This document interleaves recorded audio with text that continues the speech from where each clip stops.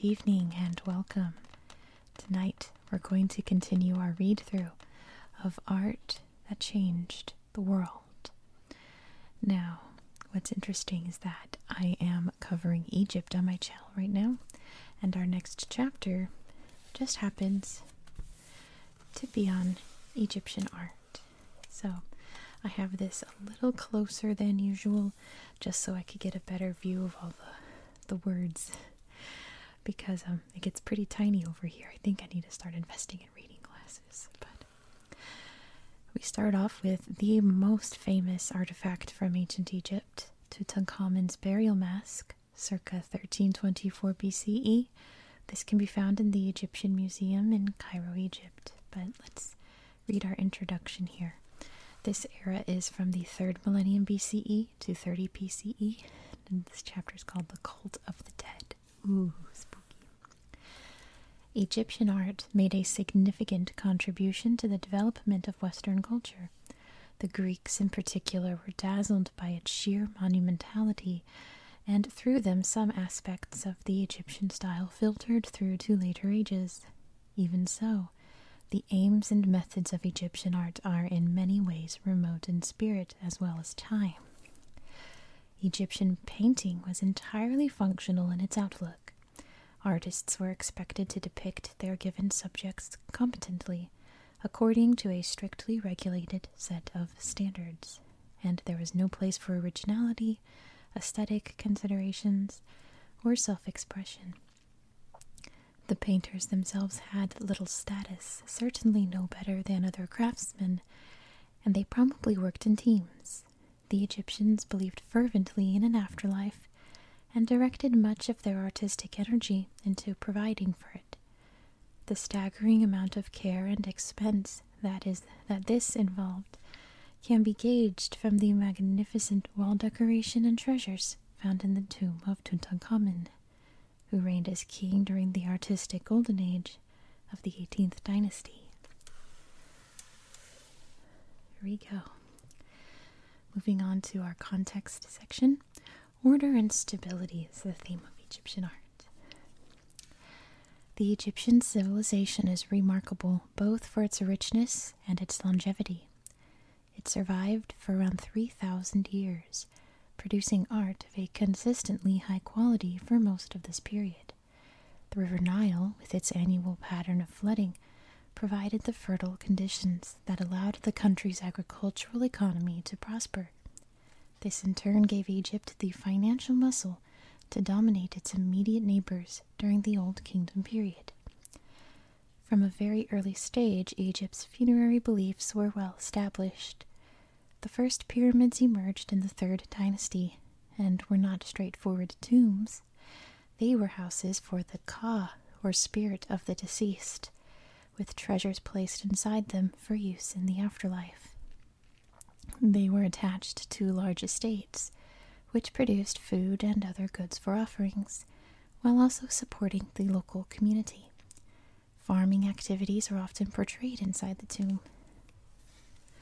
Because they were essentially religious in character, paintings were rigorously controlled. The human form had to be shown in its entirety, so artists combined a side and frontal view. This gives the figures a contorted appearance and produces some curious anomalies. In the figure of Nebamun, which we'll see later, for example, the left hand is attached to the right arm, Frivolous, ephemeral features, such as emotion or movement, were banished. The size of a figure reflected its importance, and skin color was predetermined red for men, cream for women, and yellow, symbolizing immortality, for gods. The regulations remained in force for most of the history of ancient Egypt, though they were observed less strictly in times of political strife, such as the intermediate periods. The Jebelin murals, which we'll see later, also offered an example of this. The rules were also modified during the turbulent reign of Akhenaten, as can be seen in the paintings of his daughters, which again, coming up, it's a beautiful painting. It, depict, it displays both movement and human interaction. The old traditions only began to wane after the collapse of the New Kingdom, when waves of foreigners Persians, Cushites, Greeks, and Romans threatened the country. Let's take a quick look at this gorgeous wall over here. This is from the tomb of Prince Khaemwaset. It's in the Valley of the Queens in Luxor, Egypt. But why don't we take a look at the timeline of events during this era of art, a resilient nation? So, circa 2647 to 2124 BCE. The Old Kingdom period comprises the 3rd to the 8th dynasty. Um, Khufren, Chephren, the model for the Sphinx, is one of its rulers. Circa 20, I've never heard of him. Circa 2040 to 1648 BCE, in the Middle Kingdom period, a revival of Egypt's political fortunes follows the reunification of the country. Circa 1540 to 1069 BCE, in the New Kingdom period, the military triumphs of Ahmose usher in a new period of greatness. Circa 1540 to 1295 BCE, the 18th dynasty, regarded by many as the high point of Egyptian art, includes the eventful reigns of Akhenaten and Tutankhamun. These rulers also coincide with the Amarna period, which was arguably the most inventive phase of Egyptian art. Circa 1295 to 1069 BCE, the Ramessides, which is the line of kings named Ramses, are great builders, but their rule is threatened by the military might of the Assyrians. In 525 BCE, Persian king Cambyses II conquers Egypt, which becomes a client state. And in 31 BCE, Mark Antony and Cleopatra are defeated by Roman forces at the Battle of Actium, effectively ending Egypt's independence. You know what's funny right now? It's happening in my real life right now is that our building has a water leak, so we don't have any water for the night. So, of course, immediately, like, my mouth dries up, but I only have whatever water's left in my water bottle. so, like, I'm trying to not drink water because that's all I have until tomorrow morning. But, um, moving on. that's what I'm dealing with. Let's read about the beginnings of Egyptian art in the sands of time. The origins of Egyptian painting can be traced back to prehistoric times. The artisans of the Naqada culture produced painted pottery, using some motifs that would survive into the dynastic era. The earliest known painted tomb dates back to circa 3100 BCE and was discovered at the ancient capital Hierakonpolis. The royal cemetery at Saqqara is almost as old, with decorated tombs dating back to as early as the First Dynasty. These include pyramids and the more modest mastabas, which are mud brick burial places. Although the contents of Egyptian tombs may appear lavish and artistic to modern eyes, that was never the intention. Everything in the funeral traditions of ancient Egypt served a common purpose to protect and sustain the deceased in the afterlife. Paintings were not designed to look realistic or aesthetically pleasing. They were components in a ritual framework that was organized for the benefit of the dead. These practices remained in place for virtually the entire span of Egypt's ancient history. Let's look down at the artistic influences of this time. By the time Saqqara was built, the format for tomb decoration was already well established. Among the themes to feature heavily was agriculture, an active an activity that the deceased might have been associated with during their lifetime. Unsu, the scribe, for example, had been a grain accountant. Agricultural motifs also featured because of the food and provisions that would be needed in the afterlife. So first, we have sculpture, as we can see here in the offering chapel of Ta Sekum Ankh. This is located in the Museum of Fine Arts in Boston, Massachusetts. Sculpture was combined with painting in early tombs, producing colored reliefs rather than frescoes. Parades of herdsmen with animals, their sheer variety emphasized the wealth of the deceased, was a common theme. So these are rock carvings that are painted. They're not exactly wall paintings, isn't that neat? Stylistic regulations dictated the way artists organized their pictures. Human figures were shown in profile, although both shoulders were turned to face the front. Scenes are arranged into long horizontal bands known as registers. So here's from the Tomb of Unsu that they mentioned before.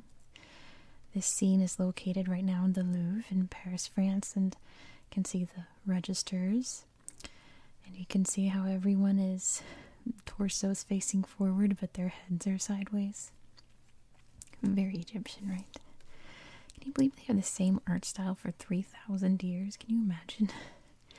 I mean, it was only a thousand years ago we had like the Bayeux Tapestry. Imagine 3,000 years of the same art style, never changing. Fascinating, anyway. Hieroglyphs, literally sacred words, were used to amplify the subject of the painting. Images were rarely meant to be viewed in isolation. Tomb paintings tended to be personalized with a theme relating to the deceased. So here's a beautiful painting of the goddess Maat. You can see all the hieroglyphs around her that aren't necessarily the background, they're part of this depiction of her. This can be found in the tomb of Nefertari in the Valley of the Queens in Egypt. Egyptian blue or blue frit is often described as the first synthetic pigment. It is a calcium copper silicate produced by fusing powdered limestone with sand and copper filings. It features a Nebamun hunting in the marshes, which is the last work we're going to look at tonight. So here we see some pigments ground up in here. This is from the tomb of Kha at Deir, of Medina. And this is located in the Egyptian Museum in Turin, Italy. So let's take a look at this turning point of art, the Mastaba of Tai. It's from the 5th dynasty, 2494 to 2345 BCE. It's located currently at Saqqara near Cairo in Egypt. This is probably the finest of the Saqqara tombs, dating from the Old Kingdom era. Tai was a high ranking court official.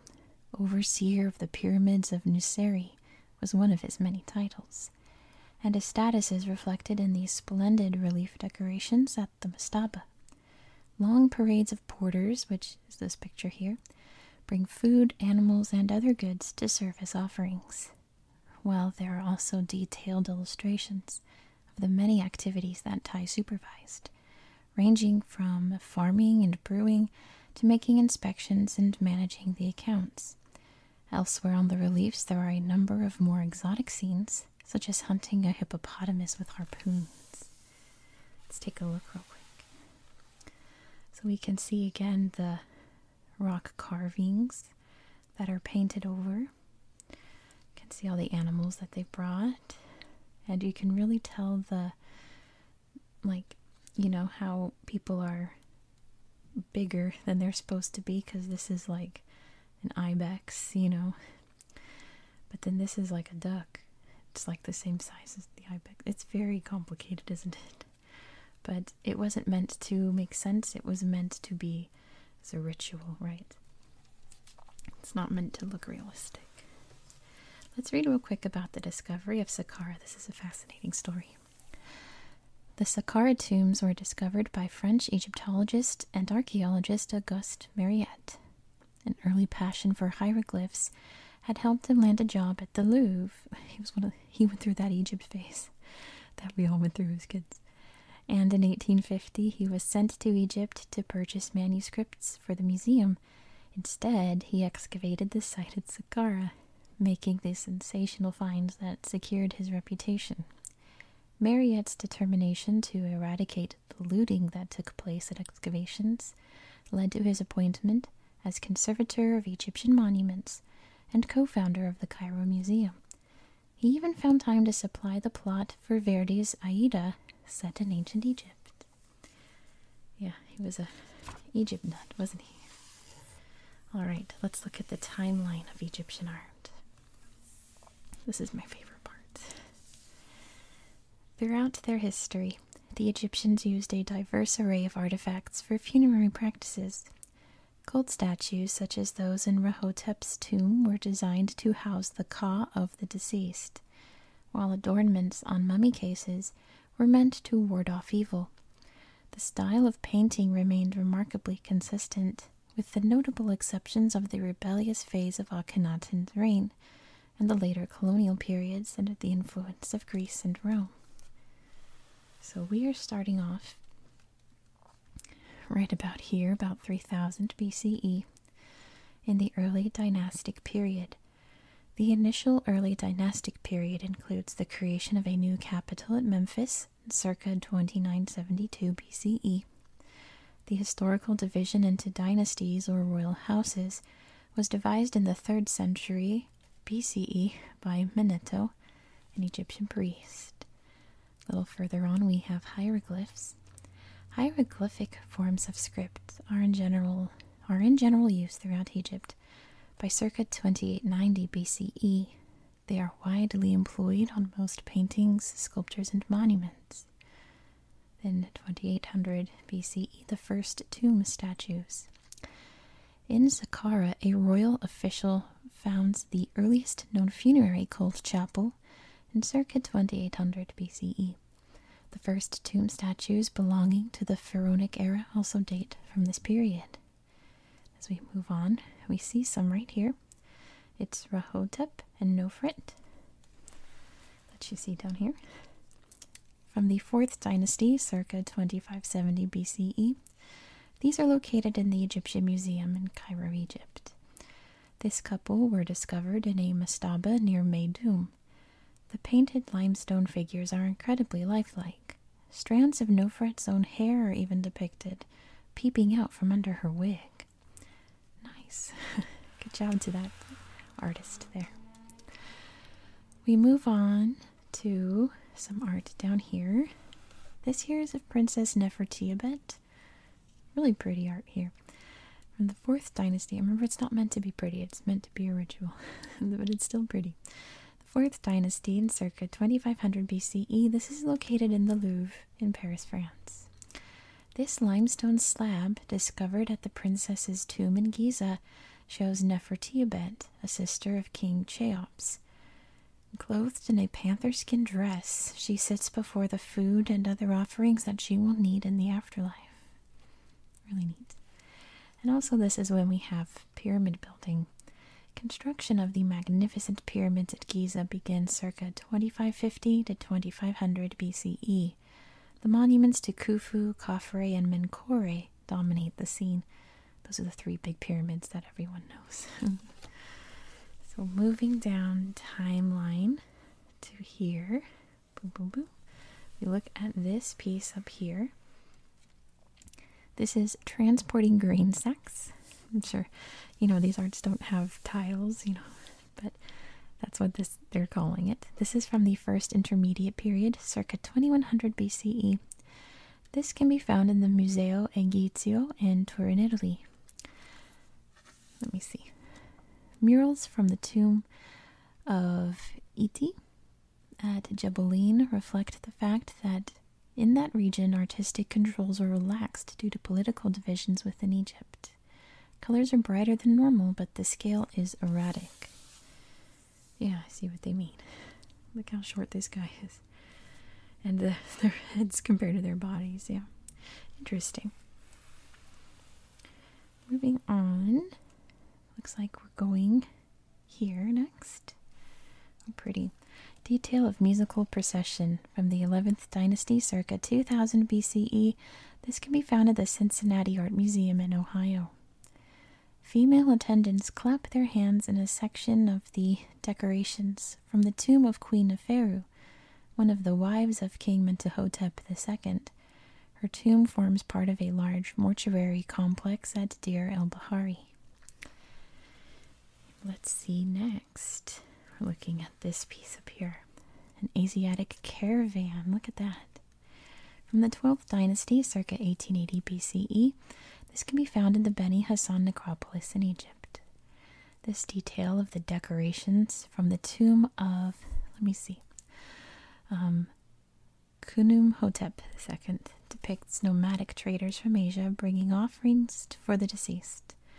The rapid rise in immigration from Asia was a matter of political concern in Egypt. It's a valid one, since they would have invaders.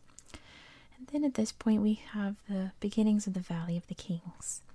A royal cemetery is established around circa 1560 BCE in the area now known as the Valley of the Kings. It will become the most important burial site in the New Kingdom. Let's take a moment to look at palettes, which is exactly what you think it is, like an artist's palette where all the paint is. They keep the paint there. This is the Narmer palette, the most famous one, circa 3000 BCE. It can be found in the Egyptian Museum in Cairo. Palettes were practical objects used for grinding pigments, but some early highly decorated examples held a deeper significance. They were given as offerings to temples and employed during rituals. Scholars speculate that they may have been used to produce eye or body paint, which was worn by the priest or daubed on cult statues. In artistic terms, the grinding bowl became a feature of the design, used here to shape the necks of fabulous beasts. They look like weird giraffes. Let's see what's next in history. Oh, wow. First, we're going to talk about Queen Hatshepsut. Work begins on the magnificent temple of Queen Hatshepsut in circa 1460 BCE. Its unusual decorations include scenes of a naval expedition and the transportation of obelisks from the quarries at Aswan. Then, we're looking at this is so amazing. This is the interior of the tomb of Sennefer from the 18th dynasty, circa 1410 BCE. This can be found at Sheikh Abd el Kurna in Egypt. Often dubbed the Tomb of the Vines because of the ceiling decoration. It's gorgeous. The 18th dynasty tomb depicts Sennefer, the mayor of Thebes, on the far wall, receiving offerings from his wife. Here she is, and there he is. It looks like they're over here too. Let's see what's next. This one. This is my favorite because it looks alien. Not that they look like aliens, which they kind of do, but you know, they deviated from the art style during Akhenaten's reign. And so it's Egyptian art that doesn't look anything like Egyptian art. The Daughters of Akhenaten, 18th dynasty, circa 1353 to 35 BCE. This is located in Ashmolean in Oxford, UK. Artistic styles altered radically during the reign of Akhenaten, the heretic king. Figures appeared less static and impassive, while the human form was portrayed in a strangely stylized manner. See, next we have the Great Harris Papyrus. This is from the 20th dynasty, circa 1150 BCE. This can be found in the British Museum in London, UK. At 138 feet in length, this is one of the largest surviving papyri. This section shows Ramses III with the principal gods of Memphis Ptah, Sekhmet, and Nefertem. Awesome. That's so neat that that survived for so long. And he's in white, right? So interesting, he's deified. Next, we're going to read about the Tanis necropolis. In circa 800 BCE, the main focus of royal burials shifts away from the Valley of the Kings and to Tanis. These tombs are more modest, though they contain golden treasures. Then we have the Kushite rule. From around 728 BCE, the Egyptians are ruled by the Kushites from the south, which is now the Republic of Sudan. The situation is ended by invading Assyrians who sack Memphis in 671 BCE. Not long after that, the creation of this amazing sarcophagus, the mummy cartonnage of, let's, oh my, that's a name, Nespanetjeran Peri. Peri. In the 22nd dynasty, circa 945 to 718 BCE, this can be found in the Brooklyn Museum of Art in New York, New York. Cartonnage was a material composed of linen or papyrus mixed with plaster and water and was used to cover a mummy. Various symbols and spells were painted on the surface, designed to aid the deceased, in this case a priest, on their journey to the afterlife. So interesting. Can read about Nectanebo I. A brief period of Egyptian independence begins during the 30th dynasty, circa 380 BCE. Nectanebo I and his successors revive earlier building programs enlarging temples and creating avenues of sphinxes. Then the Ptolemaic dynasty. The Ptolemaic era, when Egypt is ruled by Greeks, begins circa 240 BCE. Alexandria replaces Memphis as the capital, and the Hellenistic style affects most branches of the arts. We also have, not long after this begins, the Temple of Edfu. Egyptian architecture enjoys a revival under the Ptolemies. The most impressive building is the Temple of Horus at Edfu, begun by Ptolemy III in 237 BCE and finished in 57 BCE. Then we have the Rosetta Stone.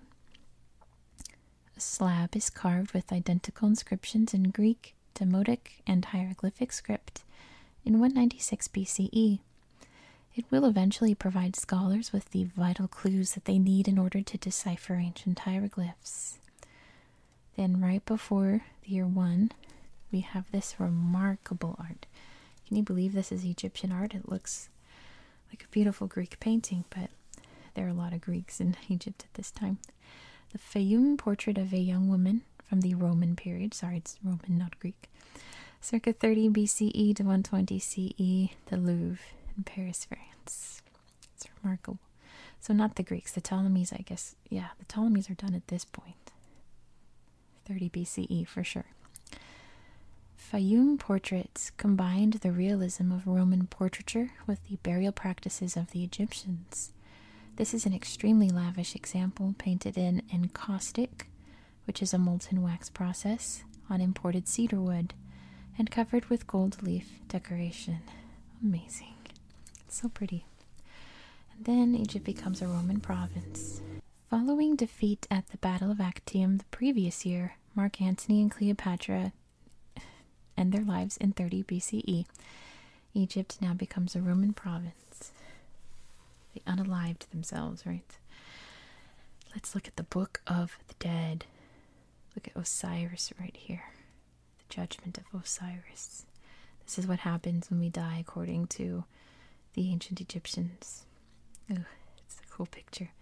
This is from circa 332 to 330 BCE.